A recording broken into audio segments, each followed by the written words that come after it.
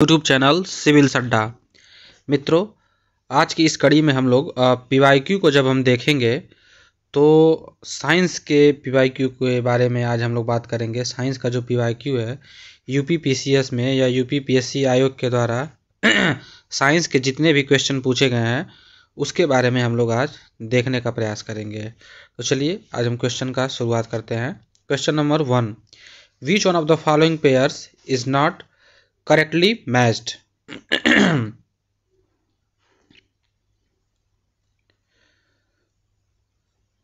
Hello friends welcome back to our YouTube channel civil सट्टा मित्रों, आज की इस कड़ी में हम लोग पीवाईक्यू के इस कड़ी में हम लोग साइंस के पीवाईक्यू को देखने का प्रयास करेंगे। यूपी पीएससी आयोग के द्वारा साइंस में जितने भी क्वेश्चन आए हैं, उसे हम लोग देखेंगे। आज बढ़ते हैं क्वेश्चन नंबर वन की तरफ़। Which one of the following pairs is not correctly matched. Vitamin A, orange, vitamin C, lemon, vitamin D, cod liver oil and vitamin B6, rice bran तो इसमें बताना है कि कौन सा जो है सही मैच नहीं है। तो इसमें विटामिन ए जो है वो ऑरेंज है। ये गलत तरीके से मैच हुआ है। ऑरेंज जो होता है मित्रों वो विटामिन सी के लिए होता है। और विटामिन सी जो है यहाँ पर लेमन सही है vitamin D cod liver oil सही है और विटामिन बी सिक्स जो होता है जिसे हम पैराडॉक्सिन बोलते हैं, उसके लिए राइस प्राण होता है। अगला सवाल। Which of the following vitamins is essential for normal vision option A folic acid option B riboflavin option C niacin option D retinol तो यहाँ पर नॉर्मल विजन के लिए जो बात हो रहा है तो यहाँ पर जो विटामिन होगा, वो होगा रेटिनॉल रेटिनॉल का विटामिन की अगर अगर आपके शरीर में कमी हो जा रही है तो आपको नाइट ब्लाइंडनेस या कलर ब्लाइंडनेस जैसी बीमारी का सामना करना पड़ सकता है। और जो नाइट ब्लाइंडनेस या कलर नाइट ब्लाइंडनेस जो बीमारी होती है वो विटामिन ए की कमी से होती है। और फॉलिक एसिड की कमी से जो आ, होता है वो होता है एनीमिया की कमी या आयरन की कमी। राइबोफ्लोविन जो है वो विटामिन बी टू होता है और बी वन जिसे हम थायमिन बोलते हैं। नायासिन भी जो है वो विटामिन बी की कैटेगरी में आता है। विटामिन बी से रिलेटेड अगर हमें कुछ जानकारी चाहिए होगा तो हम देखेंगे। जो विटामिन बी होता है और सी होता है वो होता है वाटर सल्यूबल विटामिन और जो विटामिन के होता है ई e होता है डी होता है और ए होता है, वो होता है फैट सल्यूबल विटामिन ये आगे जानकारी काम आ जाएगा। अगला सवाल botulism is botulism is food borne infection food borne intoxicants water borne infection and D water borne intoxicant तो जो बॉटुल बॉटुलिज्म होता है, वो एक बीमारी का नाम है, जिसे हम फ़ूड बॉर्न इंटॉक्सिकेशन के नाम से जानते हैं। Question number four with reference to the electric potential which one of the following statement is correct it is scalar quantity it is vector quantity option A only one only two both one and two and neither one or two तो इसका जो सही जवाब हो जाएगा, वो हो जाएगा it is scalar quantity means only one ये वेक्टर क्वांटिटी नहीं है, क्योंकि यहाँ पर इलेक्ट्रिक पोटेंशियल की बात की जा रही है। अगर यही इलेक्ट्रिक पोटेंशियल डिफरेंस होता मित्रों, तब वहाँ पर वेक्टर क्वांटिटी हो जाता है, क्योंकि पोटेंशियल डिफरेंस जो होता है, उसमें एक दिशा होती है। अगला question given below are two statement one is labelled assertion and reason assertion reason पर बेस ये सवाल है। सवाल को देखते हैं।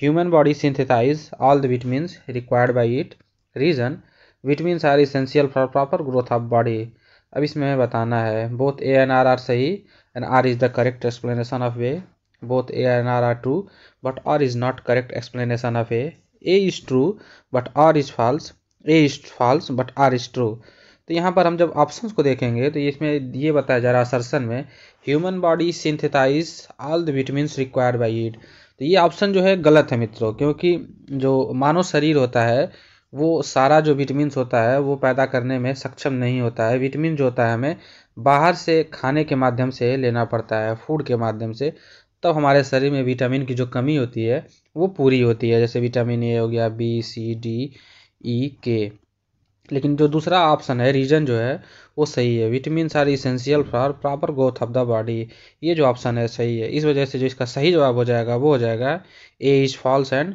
R is true option D अगला सवाल। Blue baby syndrome is due to the presence of which of the following in the blood haemoglobin methaemoglobin lead nitrate तो जो ब्लू बेबी सिंड्रोम होता है, वो नाइट्रेट की कमी की वजह सॉरी नाइट्रेट के प्रेजेंस की वजह से होता है। जब शरीर में बहुत ज़्यादा नाइट्रेट की मात्रा बढ़ जाती है तो वहाँ पर ब्लू बेबी सिंड्रोम का रोग पाया जाता है। अगला question tapa cloth which is obtained from the plant of which of the following family इसमें है Asclepiadaceae sorry for my pronunciation Moraceae Gramineae and Malvaceae तो इसका जो सही जवाब हो जाएगा, वो हो जाएगा ऑप्शन बी ऑप्शन बी जो इसका हो जाएगा, वो सही जवाब हो जाएगा मोरासी। मोरासी जो इसका सही जवाब हो जाएगा। प्रोनाउंसिएशन मैं सही से नहीं कर पा रहा था इसका सॉरी अगला question a clove represent to which of the following option A terminal bud accessory bud flower bud and vegetative bud तो क्लोब के बारे में जो होता है, जिसे हम हिंदी में लॉन्ग बोलते हैं, यह काफ़ी गर्म होता है और कई सारी चीज़ों में आयुर्वेदिक इसका फ़ायदा है और मसाले के रूप में प्रयोग किया जाता है तो जो क्लोव होता है, वो फ्लावर बर्ड को रिप्रेजेंट करता है, इसलिए ऑप्शन सी इसका सही जवाब हो जाएगा।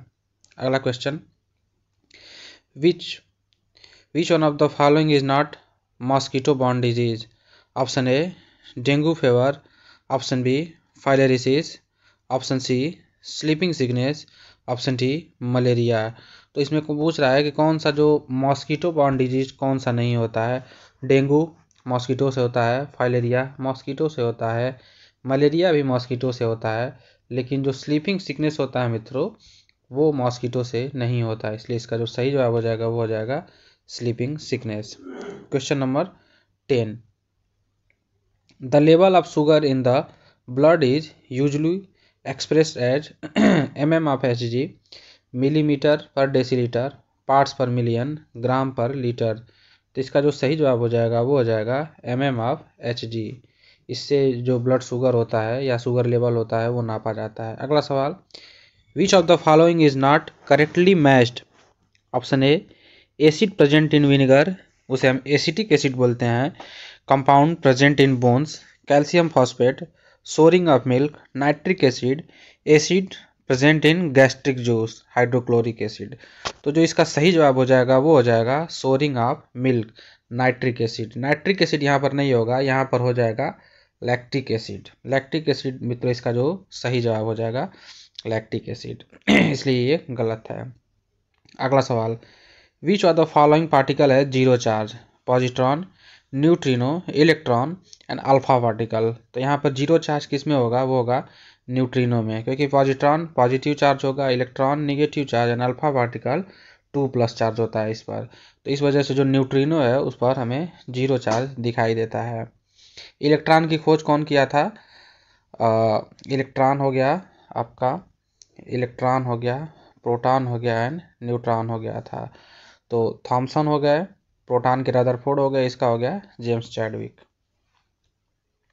With reference to the radioactivity which one of the following statement is correct radioactivity is a nuclear property hydrogen bomb is prepared on the principle of nuclear fission option a option 2 both 1 and 2 and neither 1 nor 2 तो जो पहला option है इसका वो सही है radioactivity nuclear property लेकिन hydrogen bomb जो होता है ना वो फ्यूजन से बनता है ना कि फिशन से फिशन मतलब होता है टूटना और फ्यूजन मतलब होता है जुड़ना तो हाइड्रोजन बम का जो बनने का प्रक्रिया होता है दोस्तों, वो होता है हाइड्रोजन और हीलियम का जब मिश्रण होता है हाइड्रोजन और हीलियम का या ड्यूटेरियम और हीलियम का तो वहाँ पर हाइड्रोजन बम का निर्माण होता है, इसलिए इसका ऑप्शन वन सही है बस।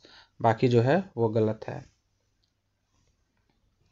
अगला सवाल हम देखेंगे। Nineteen which one of the following is the main constituent of LPG hexane pentane butane and methane तो एलपीजी का जो फुल फॉर्म होता है, वो होता है लिक्विड पेट्रोलियम गैस तो एलपीजी में जो सबसे ज़्यादा मात्रा पाया जाता है, वो पाया जाता है ब्यूटेन का। हालाँकि एलपीजी में सिर्फ़ ब्यूटेन ही नहीं होता है। ब्यूटेन होता है, उसमें प्रोपेन होता है इथेन भी होता है। तो लेकिन सबसे ज़्यादा जो मात्रा होता है, वो होता है ब्यूटेन का। और एलपीजी में ही दोस्तों एक ऐसी चीज़ मिलाई जाती है, जिससे कि गैस लीक होने पर हमें पता चले तो वो होता है इथाइल मरकेप्टॉन। इथाइल मरकेप्टॉन को मिला जाता है, जिससे हमें लीकेज को देखने में या समझने में आसानी हो सके। अगला question fruits stored in a cold chamber exhibit longer storage life because option A exposure to sunlight is prevented concentration of carbon dioxide in environment is increase rate of respiration is decrease there is an increase in humidity तो इसका जो सही जवाब हो जाएगा, ये पूछा जा रहा है कि जो खाना होता है कोल्ड चैम्बर में या फ्रिज में, वो ख़राब क्यों नहीं होता है या वो बहुत लंबे समय तक क्यों चल जाता है? तो मित्रों, खाना ख़राब होने का क्या मतलब हो जाएगा, हम ये समझेंगे पहले। कोई भी खाना ख़राब कैसे होता है जब उसमें ना बायोकेमिकल रिएक्शन होने लगते हैं। तो रिएक्शन को अगर रोक दिया जाए किसी भी तरीके से तो खाना ख़राब होगा ही नहीं, क्योंकि वहाँ पर कीटाणु नहीं आएँगे बैक्टीरियल अटैक नहीं होगा, या जो भी रिएक्शन होगा वो होगा नहीं।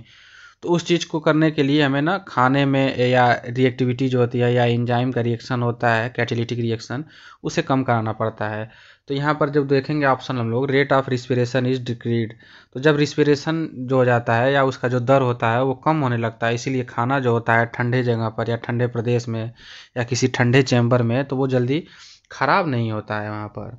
अगला question nitrogen it not an essential constituent of chlorophyll R N A D N and carbohydrate तो इसमें यह बताया जा रहा है कि नाइट्रोजन किसमें नहीं पाया जाता है या इसेंशियल कॉन्स्टिट्यूएंट नहीं होता है। तो कार्बोहाइड्रेट में नाइट्रोजन का आ, कोई मतलब नहीं होता है इसलिए जो ऑप्शन डी है वो हो जाएगा सही। अगला question who among the following had performed the world's first heart transplant option A doctor Venugopal. Option B, William Harvey, option C, Christian Barnard, option D, William Batrick. तो इसका जो सही जवाब हो जाएगा, वो हो जाएगा ऑप्शन सी शायद। देखते हैं। हाँ ऑप्शन सी है इसका। ऑप्शन सी इसका हो जाएगा, क्रिस्टियन बर्नार्ड इसका सही जवाब हो जाएगा। Question, diffusion of light in the atmosphere take place due to जो लाइट का डिफ्यूज़न होता है, वो कैसे होता है? Carbon dioxide, dust particle, helium या वाटर वेपर के द्वारा। तो जो लाइट का डिफ्यूज़न होता है मित्रों, वो डस्ट पार्टिकल के हेल्प के हेल्प से होता है या उसके मदद से होता है। अगला question Ringelmann scale is use to measure density of smoke polluted water fog and noise तो जो रिंग्समैन स्केल होता है, वो स्मोक को मेजर करने के काम में आता है। इसलिए जो इसका सही जवाब हो जाएगा, वो हो जाएगा स्मोक रिंग्समैन स्केल जो होता है वो इसमें स्मोक को मेजर करने के काम में आता है। इसका सही जवाब ऑप्शन ए ये रहा आज का बीस सवाल साइंस का। आप लोग प्लीज़ वीडियो को शेयर करिए, ज़्यादा से ज़्यादा देखिए और अन्य, अपने मित्रों को दिखाइए, ज़्यादा से ज़्यादा शेयर करिए, जिससे हमें मोटिवेशन मिलता है मित्रों और वीडियो बनाने का। तो मैं और प्रयास करूँगा कि वीडियो को काफ़ी लंबे तक ले जाऊँ और अच्छे अच्छे क्वेश्चन आपके सामने लाऊँ। मिलते हैं अगली वीडियो में। बहुत बहुत धन्यवाद।